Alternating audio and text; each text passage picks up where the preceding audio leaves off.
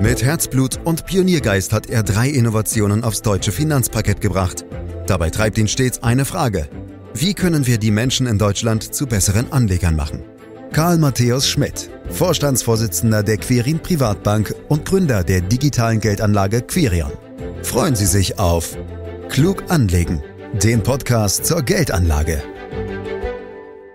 Die Deutschen lieben Sachwerte, vor allem Immobilien. Viele sind auch Fans von Edelmetallen, doch fragt man nach Aktien, dann bekommt man meist nur ein müdes Achselzucken. Dabei ist die Aktie als Beteiligung am Produktivkapital enorm wichtig und zwar für Unternehmen und für Anleger gleichermaßen. Fragen dazu heute im Podcast an Karl Matthäus Schmidt, der ist Vorstandsvorsitzender der Quirin Privatbank AG und Gründer der digitalen Geldanlage Quirion. Dein Leib- und Magenthema, glaube ich, Karl. Ich grüße dich. Ja, herzlich willkommen, Andreas. Ja, das stimmt. Ich liebe Aktien. Fangen wir ausnahmsweise mal grundsätzlich an, Karl. Was ist eine Aktie? Und ich habe eine ganz, ganz große Bitte. Erkläre es mir idealerweise so einfach wie möglich, denn mein achtjähriger Sohn hat mich jüngst gefragt, Papa, was ist eine Aktie? Und ich hatte offen gesagt keine passende Antwort parat. Ja, es ist eigentlich ganz einfach, Andreas. Wenn du eine Aktie kaufst, dann gehört dir ein kleiner Teil von einem Geschäft oder Unternehmen, zum Beispiel von einem, das Autos baut, wie BMW oder eines, das Getränke herstellt, wie Coca-Cola. Stell dir einfach vor, so ein Unternehmen besteht aus ganz, ganz, ganz vielen Lego-Steinen. Und wenn du Aktien kaufst, gehört dir ein paar dieser Lego-Steine. Und wenn das Unternehmen mit dem was es tut, viel Geld verdient, dann werden deine Lego-Steine auch mehr wert und du kannst sie auf dem Markt verkaufen und bekommst dafür mehr Geld zurück, als du einmal dafür bezahlt hast. Also Aktien ist eigentlich ganz einfach. Viele kleine Lego-Steine. Großartig, Karl, wirklich großartig. Äh, ich spiele ihm das einfach vor, dem Merlin, zumal der gerade hier nebenan sitzt und Lego spielt. Ich glaube, das wird er in der Tat dann wirklich äh, verstehen. Deine erste Aktie, Karl, war die BASF, hast du uns im allerersten Podcast verraten. Warum hast du dich als Halbstarker ausgerechnet für die badische Anilin- und Sodafabrik entschieden? Na, ich habe mich ja nicht als halbstarker gefühlt, das nur vielleicht ganz nebenbei. Aber die, die Wahrheit ist, Andreas, ich weiß es gar nicht mehr, warum wir uns äh, damals entschieden haben. Ich glaube, ähm, das war irgendeine Analyse von der Bank wahrscheinlich und ich fand das wahnsinnig aufregend, da investiert zu sein und habe natürlich dann auch die Unternehmensberichte gelesen und in der Zeitung verfolgt. Also äh, es war spannend, aber den wirklichen Grund weiß ich nicht mehr. Na gut, äh, das äh, ist ja auch schon eine Weile her bei dir, wie wir mittlerweile wissen aufgrund der Podcasts. Gehen wir noch ein wenig weiter zurück in die Geschichte, Karl. Was war eigentlich die erste Aktie weltweit? Lässt sich das heute überhaupt noch nachvollziehen? Ja, das weiß man tatsächlich sehr genau. Es gab Anfang des 17. Jahrhunderts eine vereinigte ostindische Handelskompanie und die gilt als Mutter der Aktiengesellschaften moderner Prägung. Und die erste Börse übrigens wurde schon 1409 im belgischen Brücke gegründet. Äh, allerdings waren das nur Kaufleute, die sich getroffen haben zum Handeln von Waren. Ja, aber warum hat man damals eigentlich Aktien erfunden, Karl? Was war der Auslöser? Ja, das ist äh, eine schöne Frage, weil sich äh, viele Geschichten darum ranken und das fängt eigentlich damit an, dass wir dahin gehen müssen, wo der Pfeffer wächst, nämlich nach Indonesien. Dorthin machten sich Ende des 16. Jahrhunderts Amsterdamer Gewürzhändler mit Schiffen auf und entwickelten so ein einträgliches Geschäft, in das zahlreiche Handelsfirmen einstiegen. Und die größten damals, die haben sich dann äh, 1602 zur besagten Vereinigten Ostindischen Handelskompanie zusammengetan. Ja, damals wurden also erstmal wohlhabende Kaufleute, Provinzen und Städte an Geschäften in Form von Anteilen beteiligt. Und die zündende neue Idee war, dass diese Anteile eben auch gehandelt werden konnte. Und damit war die erste eigentliche Aktie geboren. Und die schöne Anekdote dabei, die Dividenden wurden bis 1645 in Naturalien ausbezahlt. Zum Beispiel Gewürze wie Ingwer, Zimt, Pfeffer, die damals eben sehr kostbar waren. Und die Aktionäre hießen damals äh, von dieser ostindischen Handelskompanie im Volksmund Pfeffersäcke von Amsterdam. Und was vielleicht ganz spannend ist, dass oftmals im Handel sozusagen die Basis für, für Bankgeschäft gelegt äh, war.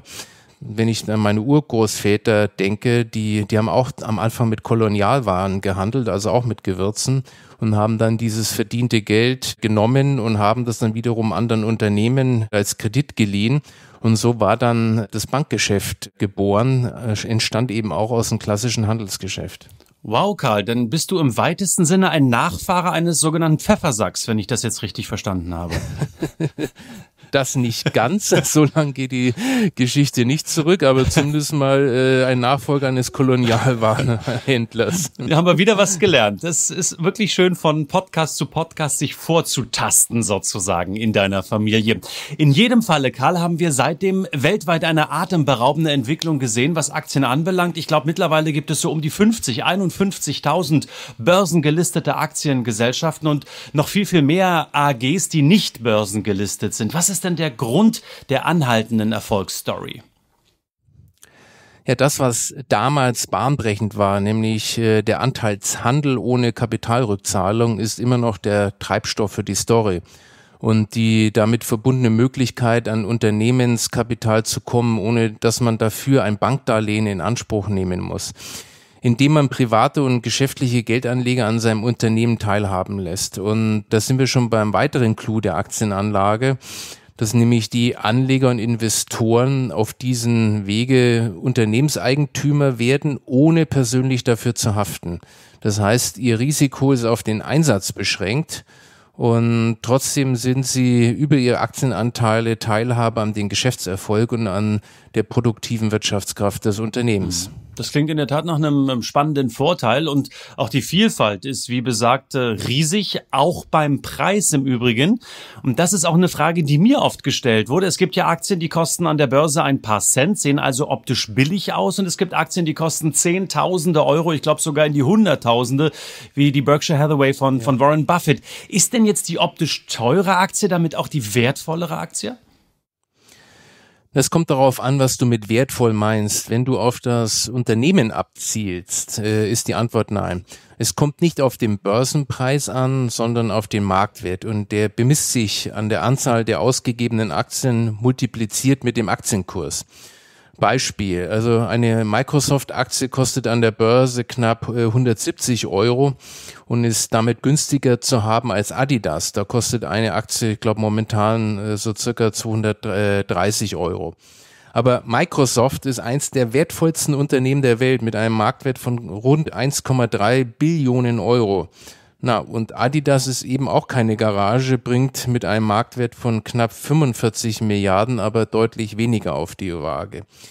Wenn du aber damit meinst, dass die Aktie mit geringerem Kurswert das bessere Investment äh, ist, dann ist die Antwort ebenfalls nein, Andreas. Letztendlich wichtig ist, wie sich die Aktien prozentual entwickelt. Und da gibt es keinen systematischen Unterschied zwischen teuren und billigen Aktien, auch wenn das manchmal behauptet wird. Mhm, aber egal jetzt, ob optisch teuer oder günstig, Karl, die Frage, die sich viele ja auch stellen, wenn sie auf die Börse schauen, und früher war es ja da sehr hektisch und sehr turbulent, ist ja heute vergleichsweise ruhig auf dem Parkett, beispielsweise der Börse Frankfurt auch. Wer oder was bestimmt denn jetzt am Ende überhaupt den Aktienkurs? Ja, am Ende sind es natürlich die Käufer und Verkäufer von Aktien an der Börse, wie auf allen Märkten äh, Angebot und Nachfrage. Langfristig, und das glaube ich schon sehr wichtig, Andreas, äh, ist allerdings der Kurs vom Substanzwert der dahinterliegenden aktiestehenden Unternehmens bestimmt. Also der Substanzwert ist da schon das Entscheidende. Aber Wiederum glauben jetzt viele, dass man auch dadurch kurzfristige Kursentwicklungen prognostizieren kann. Und das ist echt ein echtes Missverständnis, das ich dir mit folgendem Bild nochmal gerne verdeutlichen möchte. Ich habe dir ja erzählt, dass ich jetzt äh, ein Hundebesitzer geworden bin und du musst dir vorstellen, dass Kurse sind wie Spuren eines Hundes im Schnee ganz langfristig, also sozusagen aus der Vogelperspektive gesehen, siehst du einen klaren Zusammenhang zwischen den Fußspuren von Mensch und Hund. Letztendlich läuft der Hund in die gleiche Richtung wie sein Herrchen. Aber trotzdem hast du keine Chance vorherzusehen und glaube mir, wohin der Hund in den nächsten Sekunden laufen wird. Da denke ich nochmal drüber nach in Ruhe nach diesem Podcast, Karl. Ähm, mit dem Hund und den Spuren und so weiter. Das war ja fast lyrisch. Es gibt übrigens noch etwas, was auch wichtig ist. Äh, hat man äh, immer in der Zeitung gesehen, sieht man jetzt natürlich auch im Internet, wenn es bei einigen Aktiengesellschaften das Kürzel ST. Punkt danach gibt oder eben halt VZ. Punkt. Das ST steht für Stammaktie, VZ für Vorzugsaktie. Das sehen wir beispielsweise bei Volkswagen oder auch bei Sixt. Was ist der entscheidende Unterschied zwischen Stamm- und Vorzugsaktie? Das hat etwas mit dem Stimmrecht auf der Hauptversammlung der Aktiengesellschaft zu tun. Also mit Stammaktien hast du auf einer Aktionärsversammlung nämlich auch buchstäblich was zu sagen. Äh, das kann zum Beispiel sein die Entlastung des Vorstandes, zumindest mal vom Grundsatz her, weil häufig äh, wird über ein sogenanntes Sammelstimmrecht abgestimmt. Bei Vorzugsaktien äh, dagegen hast du keine Stimmrechte oder eingeschränkte. Dafür bekommst du dann in der Regel eigentlich eine höhere Dividende als die Stammaktionäre. Okay, verstanden. Also mehr Geld quasi für weniger Rechte. Wer sich darauf einlassen will, warum eigentlich nicht? Ja. Aber apropos Dividende, Karl, welche Rolle sollte denn die Ausschüttung bei der Kaufentscheidung spielen? Muss man da überhaupt drauf achten? Ja, Dividenden sind natürlich ein ganz wichtiger Faktor für die langfristige Wertentwicklung von Aktieninvestments. Wenn du dir langfristige Index- bzw. Kursentwicklung mal genauer anschaust, dann stellst du oft fest, dass der größere Anteil der Wertentwicklung auf reinvestierte Dividendenzahlungen zurückgeht und gar nicht auf die eigentlichen Kurssteigerungen. So, und jetzt wird spannend. Das heißt aber nicht, dass Aktien, welche hohe Dividenden ausschütten, eine bessere Wertentwicklung haben. Beispiel, wenn du seit 1999 dividendenstarke Titel anschaust, äh, die sind zum Beispiel nicht besser gelaufen als der normale Aktienmarkt.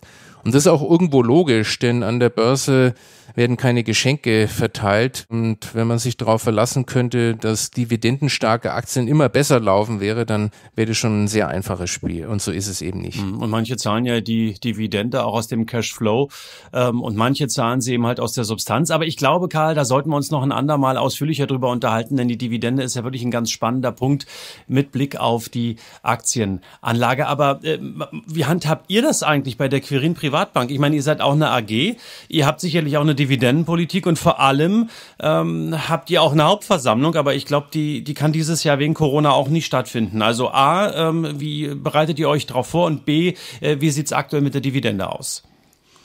Ja, wir haben jetzt all die Jahre Dividende gezahlt und äh, so haben wir das auch in diesem Jahr dann veröffentlicht und äh, angekündigt. Das war alle zugegebenermaßen vor Corona. Und dadurch, dass wir eben dieses Versammlungsverbot haben, haben wir jetzt die Hauptversammlung in den Herbst verschoben. Ja, und so ist also dieses Thema zumindest mal fürs Jahr 2019 bislang offen. Okay, ist also vertagt, frage ich im Herbst nochmal nach. Äh, vielleicht kriegen wir dann ein bisschen mehr raus und wollen mal hoffen, vor allen Dingen, dass sich die Lage im Herbst wieder so normalisiert hat, dass auch die Hauptversammlung öffentlich stattfinden kann, Karl. Aber egal ob hohe oder niedrige Dividenden, egal ob Stämme oder Vorzüge, warum sollte man überhaupt in Aktien investieren? Immerhin können die Kurse ja auch fallen, wie wir es jüngst ja im Corona-Crash äh, bitter erleben mussten. Ja, hinfallen und wieder aufstehen gehört wie im richtigen Leben auch bei der Aktienanlage zum Lauf äh, der Dinge dazu. Zwischenzeitliche Verluste, Andreas, sind quasi ja der Preis dafür, dass du mit einer vernünftig strukturierten Aktienanlage auf längere Sicht im Prinzip nur gewinnen kannst, und zwar deutlich mehr als mit Anleihen oder anderen festverzinslichen Anlagen. Denn eins ist klar, ohne Risiko kannst du keine brauchbare Rendite verlangen. Aber ich habe es ja schon gesagt, an der Börse wird nichts geschenkt. Deswegen liegt die Betonung bei äh, Verlusten auf zwischenzeitlich. Wenn du deine Aktienanlage ausreichend breit streust über viele Länder, Branchen und Themen hinweg, dann können auch Einschläge wie zuletzt den langfristigen Erfolg nicht verhindern. Schau dir an, was in den letzten Jahrzehnten alles an Krisen wir durchgemacht haben. Und äh, das hat sich ja nicht nur einmal als Weltuntergang angefühlt. Und der Aktienmarkt ist immer wieder auferstanden. Und äh, wenn du den Zeitraum von 99 bis heute nimmst, haben wir immerhin vier große Krisen erlebt. Und trotzdem hat äh, sozusagen ein Weltindex jedes Jahr in diesem Zeitraum ab 99 im Schnitt vier Prozent zugelegt. Also die Weltwirtschaft hat schon sehr starke Selbstheilungskräfte, die auch äh, diesmal wieder helfen werden. Du brauchst aber einen langen Atem, um kontinuierlich äh, dabei zu bleiben. Und Anleger, die sagen, ich will nur zwei, drei Jahre an der Börse sein und mit gezielten Deals dann absahnen wollen, die gehören zu den Spekulanten. Und glaube mir, das geht langfristig nicht gut. Das habe ich alles selbst äh, schon ausgiebig äh, durchgemacht. Hm, und das hast du uns ja auch schon diverse Male verraten. Und viele, Karl, die trauen sich auch nicht unbedingt an die Börse, nicht nur vielleicht wegen der Angst vor einer Crash-Situation, wie wir sie in Corona zuletzt erlebt haben, sondern auch, weil sie glauben, sie müssten reich sein, sie müssten viel, viel Geld mitbringen, um an der Börse investiert zu sein. Gibt es sowas wie eine Faustformel, dass man sagt, naja, also so und so viel Geld musst du schon mitbringen, um dort erfolgreich zu sein? Gibt es da so eine Art Mindestsumme? Nein, die gibt es nicht. Äh, unser Ziel ist es, das wirklich auf äh, kleinste Beträge äh, möglich zu machen. Der Witz ist, dass ich regelmäßig anspare und Geld zur Seite lege und das am besten monatlich. Also wir ermöglichen heute bei Quirion schon einen Start mit 1000 Euro. Dann kannst du loslegen. Karl, wir müssen schon wieder so ganz langsam zum Ende kommen. Ähm, deshalb äh, habe ich noch zwei Fragen heute für dich. Äh, zum einen ist es so, wenn ich hier zuhöre, weiß ich, du bist ein Fan der Aktie und wir leben in einer Zeit, in der auch die Aktie sehr schnell als alternativlos tituliert wird, eben weil die Zinsen am Boden sind, teilweise sogar im Minusbereich und weil eben das Sparbuch nichts mehr bringt. Also würdest du auch so weit gehen und sagen, die Aktie ist alternativlos? Oh, alternativlos. Jetzt kommst du noch damit um die Ecke. Äh, manchmal denkt man schon, äh, so inflationär wie das gebraucht wird, dass alternativlos alternativlos geworden ist. Aber äh, Scherz beiseite.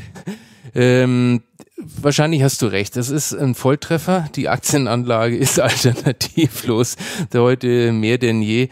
Denn in den letzten Jahren hat sich ja der Zins ja komplett verflüchtigt. Und wer heute und hierzulande sein Geld brav auf dem Festgeld oder Sparbuch oder auf dem Tagesgeldkonto parkt, der wird bestraft, weil er mit Hilfe der Inflation langsam aber sicher enteignet wird.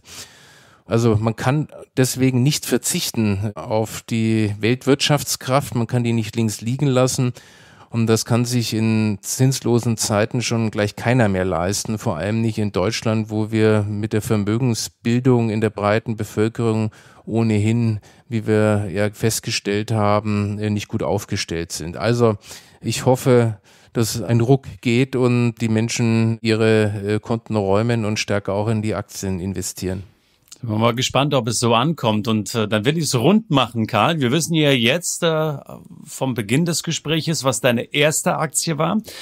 Viel spannender ist dir doch die Frage, was so deine nächste Aktie sein, die du kaufst. Äh, verrätst es uns? Ja, Andreas, äh, das verrate ich sehr gerne und ich glaube, du hast mir noch nicht richtig zugehört oder mich noch nicht richtig verstanden. Denn äh, ja, eine Einzelaktie zu kaufen, das bringt am Ende äh, nichts. Und ehrlich gesagt, ich auch persönlich, ich habe mich mehr als ausgetobt äh, als junger Kerl und vielleicht auch ausgezockt, um das vielleicht mal so zu formulieren. Und heute bin ich ein Stückchen weiser und investiere deshalb äh, in den gesamten Markt. Und ich gebe zu, dass ich auch damit wesentlich äh, besser schlafe. Ein Stückchen weise ist er geworden mit Blick auf Aktien und Fonds, sagt Karl Matthäus Schmidt als Vorstandschef der Quirin Privatbank über sich selbst.